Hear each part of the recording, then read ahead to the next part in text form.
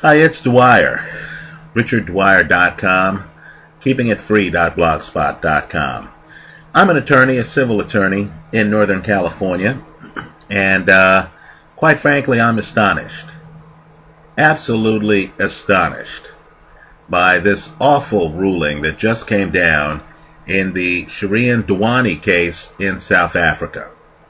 It seems to me that if you want to commit a violent crime against someone you love, the jurisdiction to do it in is South Africa because we've gotten a string of horrendous rulings from that country, including the Oscar Pistorius ruling and now this Shrien Dewani ruling. Now, my opinion here uh, is the same opinion that I had when I made my original video on this case. I encourage you to look it up. Just on YouTube, search for Dwyer and Dewani. It should pop right up. I believe, this is just my opinion, that Shrien Dewani arranged to have his wife killed. Right? That he was conspiring with at least the taxi driver, right, to have his wife murdered. Because, quite frankly, the marriage was for show, right, and he wanted out of the marriage. Let's talk about how the judge blew it here and understand that South Africa doesn't have a trial by jury system. Right? The judge is the ultimate arbiter. But I believe here the judge clearly is overlooking obvious evidence. Keep in mind, the trial wasn't allowed to proceed because the judge ruled that there wasn't enough evidence to even proceed. Let's talk about what evidence does exist. Right now, just understand Mr. Dewani told a German prostitute before the murders that he needed to get out of his marriage. He also told his cousin, Snida, that he needed a divorce. Folks, that's third party evidence of motive. Right? Understand if Mr. Dewani wanted to get out of his marriage before this murder, and keep in mind, he's on his honeymoon trip right? So that should tip you off that they haven't been married that long, right? Then that's evidence of a motive to get rid of his wife. Right now, the fact that Mr. Dewani showed up in court and said, I'm bisexual, shouldn't have helped him. Right? Because the judge still should have spoken to the German prostitute and should have spoken to his cousin should have heard what they had to say in court to determine their credibility. Right? The judge also should have heard exactly what words Dewani used and what his emotions were. Did the person hearing his comments interpret them as meaning that Dewani was going to get rid of his wife, have her murdered? Now, somehow in this case, Mr. Dewani's bisexuality seems to have blinded the court to the fact that this evidence is actually relevant evidence of motive. Right? A married man whose wife turns up dead, who then is found to have been talking about how he had to get out of the marriage before she turns up dead, right, should at least understand that the court needs to hear that evidence. I thought this judge overlooked that evidence. Let's talk about another fact that is simply not contradicted by any evidence whatsoever. And that's the fact that Shrien Dewani had secret phone conversations with the cab driver and met with the cab driver. But understand, Dewani himself admits that he had secret phone conversations with the cab driver.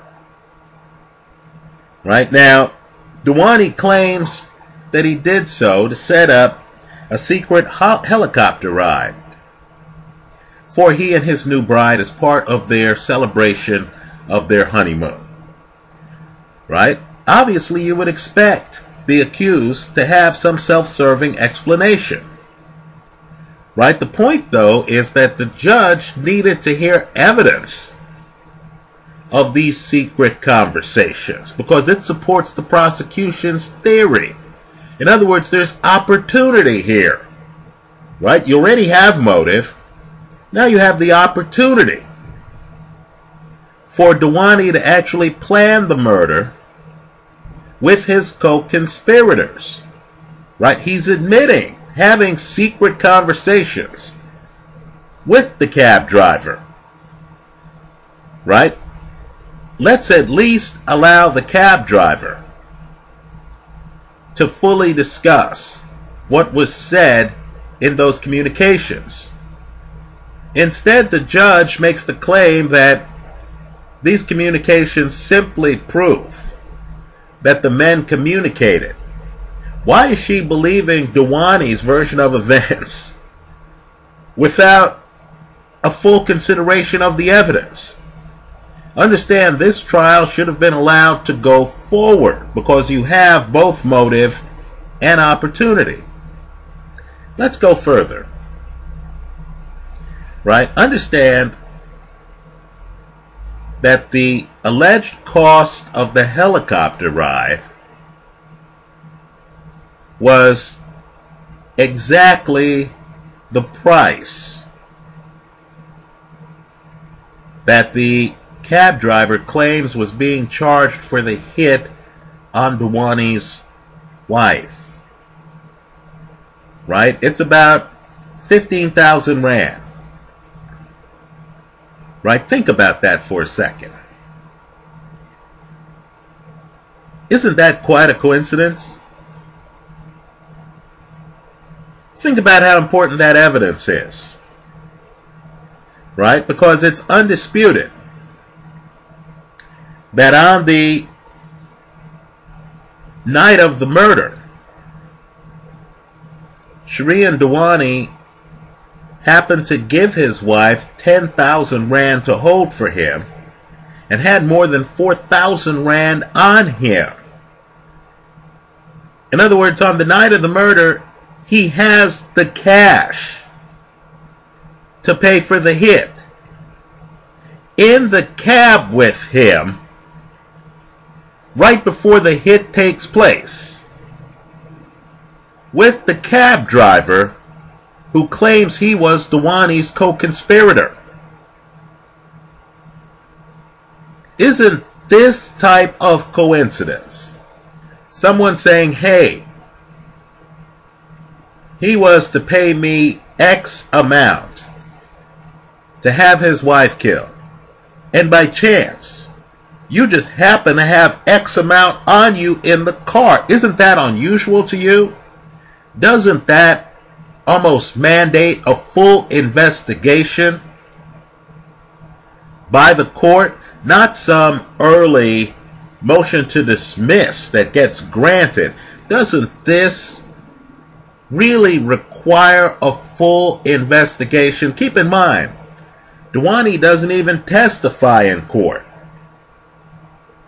How's he able to get the benefit of the doubt without even taking the stand to discuss the money trail?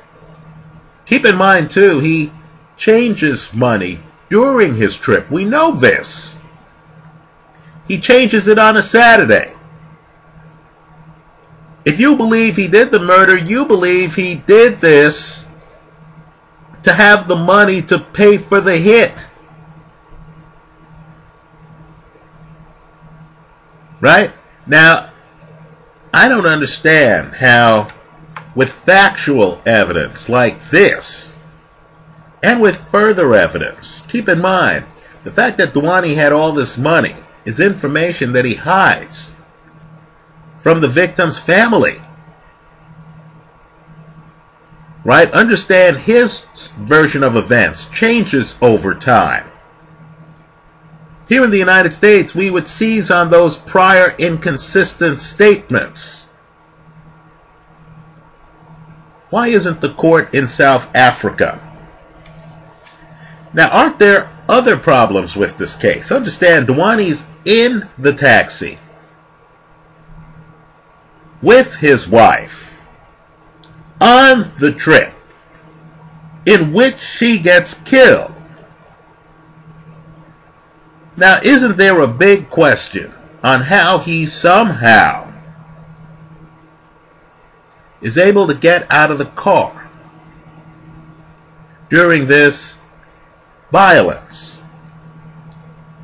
Right? Is his story even credible of hopping out a window or whatever? Is it even credible? This information is notably missing from the court's decision. Also, shouldn't the judge at least have explored how the cab ended up in that part of town on a honeymoon trip? We know the cab driver maintains that they're in that part of the town by design. Because he's discussed with Dewani the fact that this is going to look like a fake carjacking. Right? It's going to look like a random carjacking where they just happen to kill his wife. But of course, the cab driver and Dewani have figured out how they're going to pull this off. Now, why is that less believable than Dewani's version, which he doesn't even give in court at the trial? Right? Dewani claims they're just outside sea. Right? I don't understand why the judge is giving him the benefit of the doubt on that. Now let's talk about these alleged discrepancies that led the court to conclude that there was no way the prosecution could meet their burden. Right? It's it's my position that this is a miscarriage of justice. That most of these discrepancies, and I say most, not all, but most of these discrepancies are really not discrepancies. They're the court, without a proper offering of evidence, blindly accepting Shrien Dewani's version of events. Right? The court points out that the cab driver claims that Dewani initially told him that he wanted the hit on his business partner, not his wife. Right? Well, doesn't this require further inquiry? Why is the court then concluding that the cab driver's testimony can't be credible? Couldn't this simply be a case of Dewani trying to cover up the plan until the plan is about to go into action? Keep in mind, the cab driver has driven Dewani and his wife from the airport. Right? He's interacted with Dewani's wife. Right? Maybe Dewani realized that if he looked like the depraved SOB that I believe he is, if he said to the cab driver, Hey, I want you to help me kill my wife, that the cab driver early on would have said, You gotta be kidding. She's a gorgeous woman. I don't, you know, I don't want any involvement. But if Dewani says to him instead, Hey, I want for you to kill my business partner, someone the cab driver hasn't met, the cab driver might then think, Hey, this is just about money. Right? The lie might actually make the cab driver more likely to go along with the conspiracy. Why would we reward and accused for being clever in packaging the crime to conspirators in a way that makes it more likely that the conspirators joined the conspiracy. Right? In my opinion, the fact that the cab driver claims that Dewani initially told him that the hit was going to be on a business partner doesn't reflect badly on the case at all. Maybe this is the game Dewani was playing. Understand, the prosecution didn't get a full and complete opportunity to have the trial do a full examination of the case. Now, here is another problem I have with the judge's claim. The cab driver claims that after he speaks with Dewani, he then goes to a hotel to talk with a friend who knows some people who could do the crime. Right? He goes to a hotel to talk with a hotel receptionist. We'll call him M. Right? He goes to talk to M. M then calls other guys who one would be the trigger man in the crime, right? Who would be involved in the fake carjacking.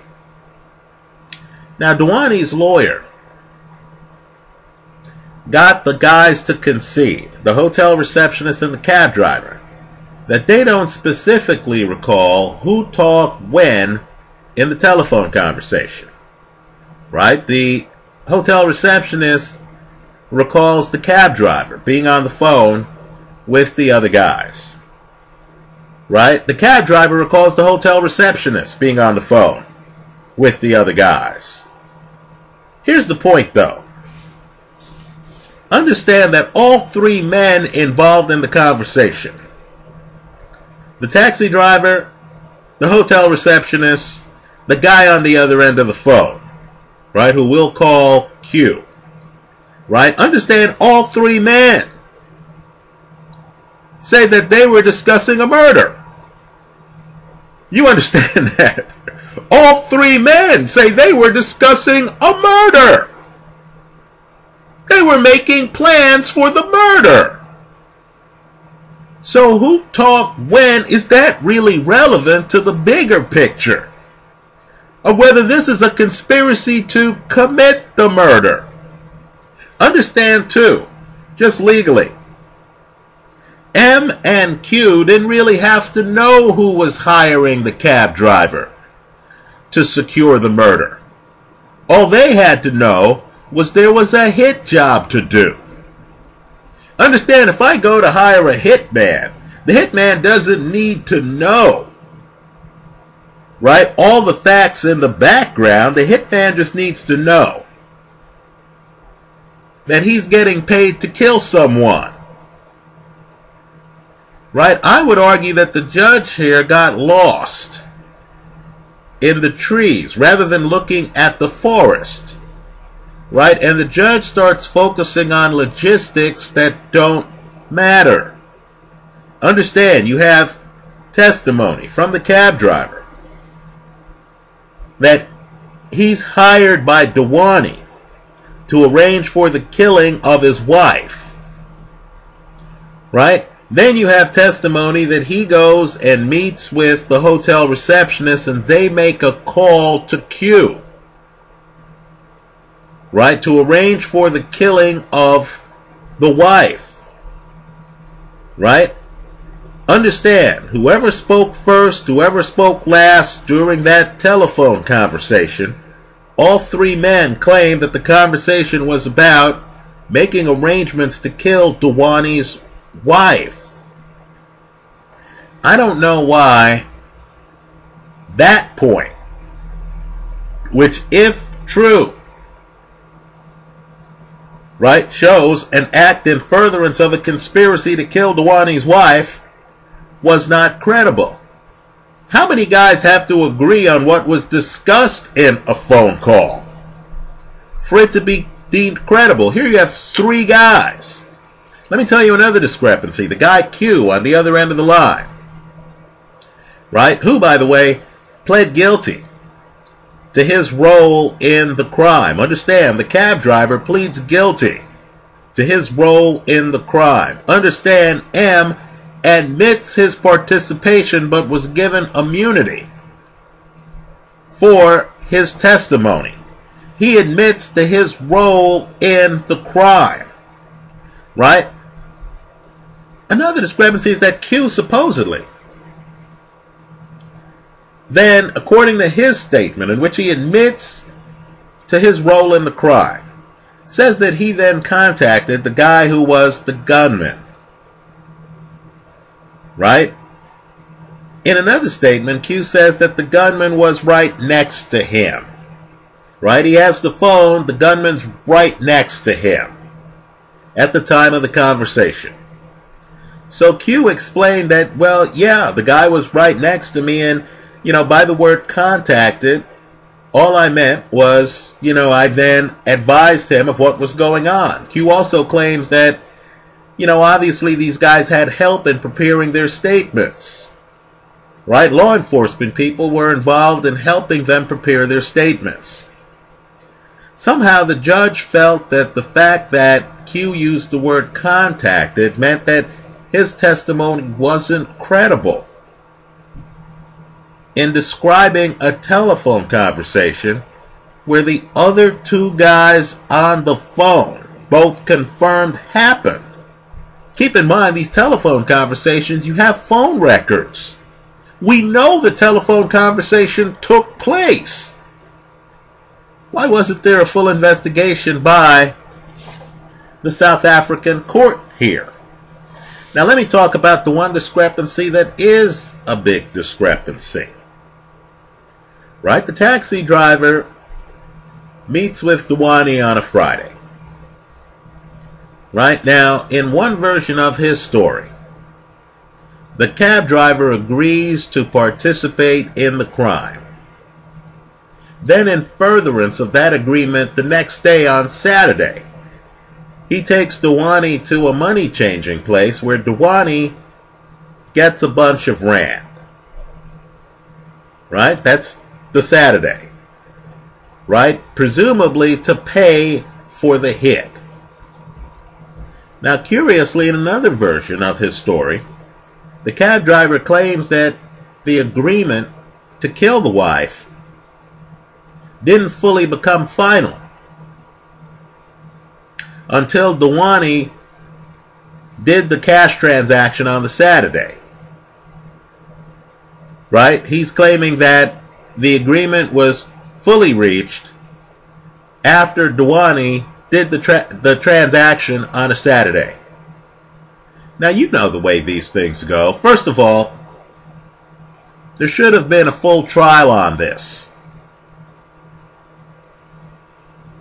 right? Because I'm not sure if the cab driver's statements in this regard are that inconsistent. Right? I meet you on Friday, you tell me you want me to help you kill your wife. Okay, I say, hey man, yeah, I could I could be up for that. We talk prices. First I say 5,000 Rand. Right? Because how do I know the conversation's serious?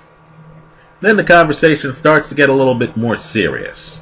So then you say to me, hey, look, you know, take me to a money changing place. Let me see what I could switch over in terms of money. We go to the money changing place. Of course, I don't have my passport because I don't want people know who I am at the money changing place.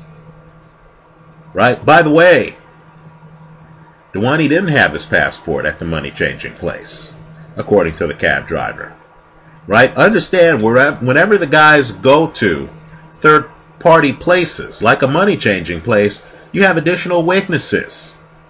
The people at the money changing place can tell us whether or not Dewani was there. We know Dewani is there on a Saturday changing over money to Rand. So Dewani changes over the money. Cab driver then realizes, okay, well, now the guy's really serious, right? Cab driver is already hooked up on the Friday with his boys, made the phone call I talked about earlier. They're set to go if the money's available. Guess what? On Saturday, the money becomes available when Dewani does the money exchange. Right?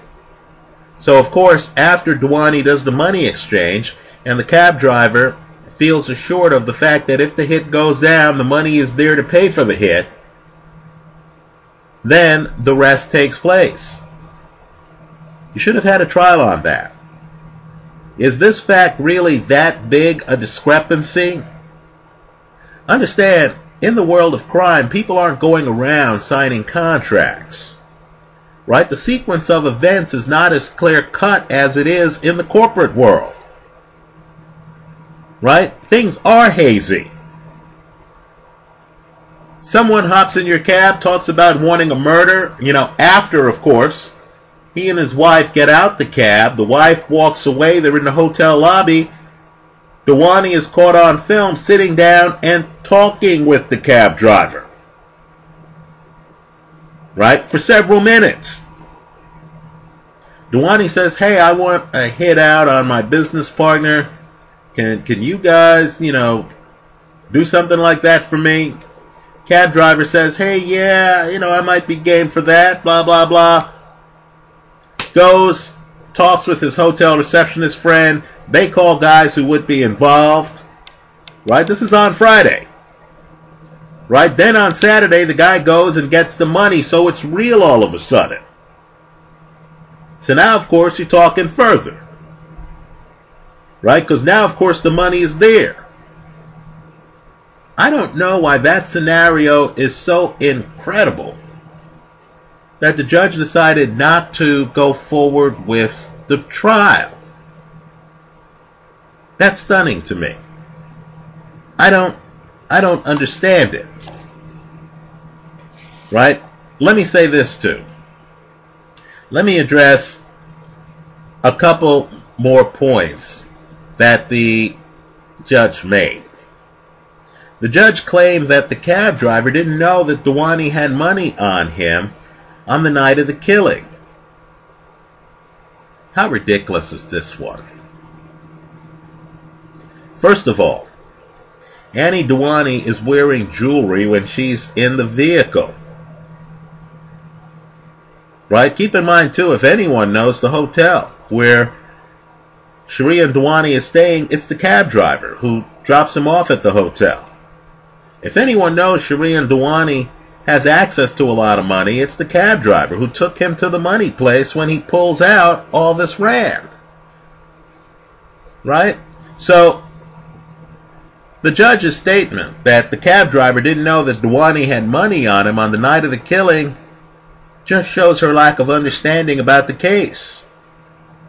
Doesn't she know about the fact that they went to a money changing place and Dewani took out all this rand? Right? Understand too, if the plan's to kill his wife, right? Kill his wife, then, you know, the guys understand that once they kill her, they can take jewelry off her body. Right? Also, it, it goes without saying that in the world of contract killing, you would imagine that someone might actually want the crime to happen first before he makes the further payment. Understand, too, we know that Dewani made a further payment to the cab driver. That's caught on film. Right after the murder takes place, back at the hotel. Later, you actually see the cab driver come in, and Dewani is all happy.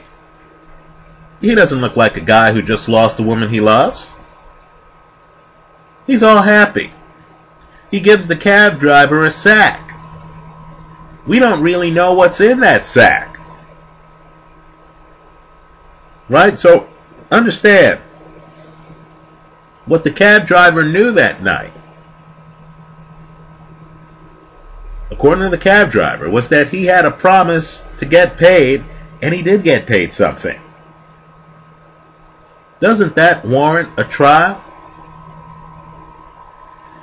Let me talk about another point that the judge made. The judge claims that the cab driver wouldn't have put his cab at risk. Right? Since, of course, this murder was supposed to take place in the guy's cab. You know what? Understand people who do contract killings or participate in contract killings might not be members of Mensa. Right? No one's accusing the cabbie of having the highest IQ in the country. Right? Understand, too, that Dewani, who we now know is a millionaire, right? According to the cabbie, promised the cabbie future business. Who knows what the cabbie was thinking? But please, don't don't reach the conclusion that because you believe that someone involved in a contract killing shows bad judgment doesn't mean that in fact the contract killing wasn't a reality. To sum up, I just don't understand how the judge at this stage in the proceedings, and keep in mind, Dewani doesn't take the stand.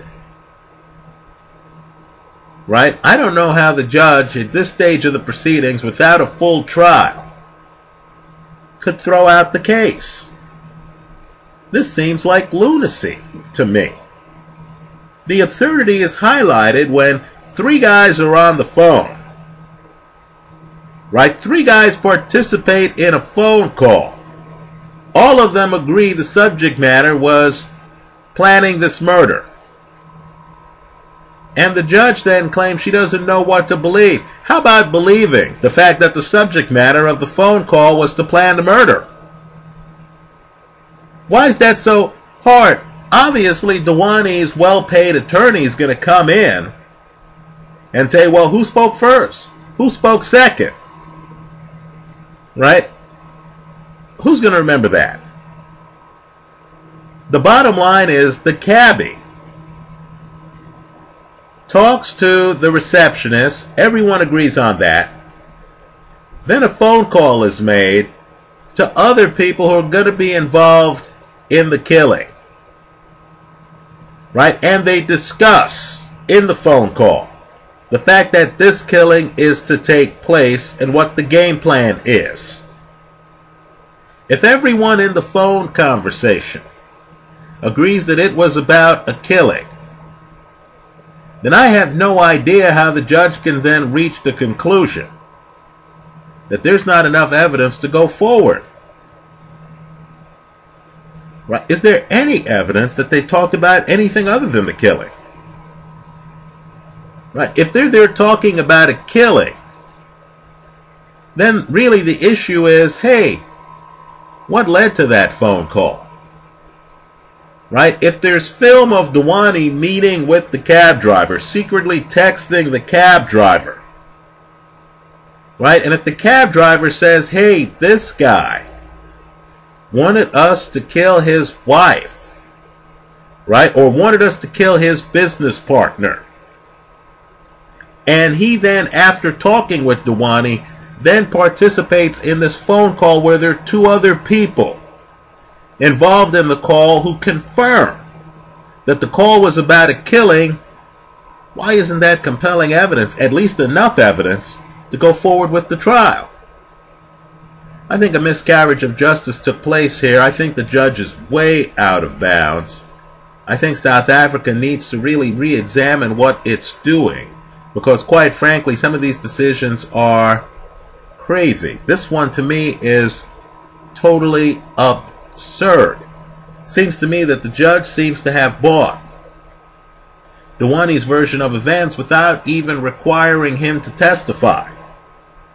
Right? It seems to me the judge ignored third party testimony. Right? The German prostitute. Excuse me, might not be German. Well, the prostitute who said Duane told him that he wanted to get out of his marriage. Dewani's cousin who says Dewani said he wanted a divorce. Right? The victim's family who taped Dewani right? Dewani's changing version of events. He tells the family one thing in court, he's presenting alternative facts. He's filling in facts he didn't even tell the family about. Like the fact that they have thousands of rand on them in cash in the cab right when right right before she gets killed. Right? Also, it is a bit curious how Dewani gets out of that cab. I don't know how you look at these facts and not have a trial. Let me hear from you. Leave your comments for me here online. Visit us at keepingitfree.blogspot.com. And if you're a sports fan, visit us at gamblersadvisory.com. Thanks for stopping by.